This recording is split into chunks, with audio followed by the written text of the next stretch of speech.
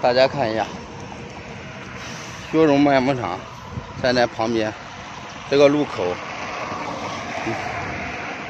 一辆车交麦子的都没有。看那啊，门口就有一辆。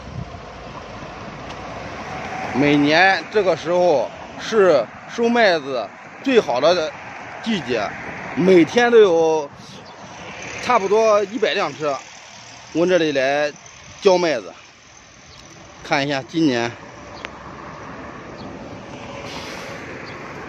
麦子也卖不上价钱，有好多老百姓啊，叫这个麦子都放在家里面了，都说这个麦子要涨价，要涨到二十多块钱一斤，不知道是真的是假的。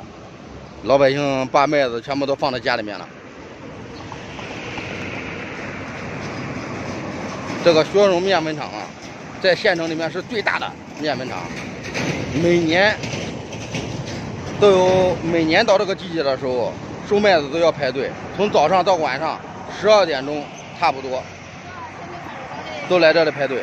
现在啊，你看这路边，路边根本都没有车，路边路边一辆车都没有，三天两天了才能看到一辆车。你看在这里几乎都没有车，每年就是这样，到今年生意。不好做，这个雪荣面粉厂生意更难做，